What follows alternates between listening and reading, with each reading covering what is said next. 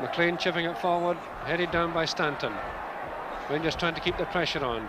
McLean out to Jordan. Cool play by Jordan. A good pass forward to McKean. McKean going on the outside, getting it across. Chance for Stein and a goal!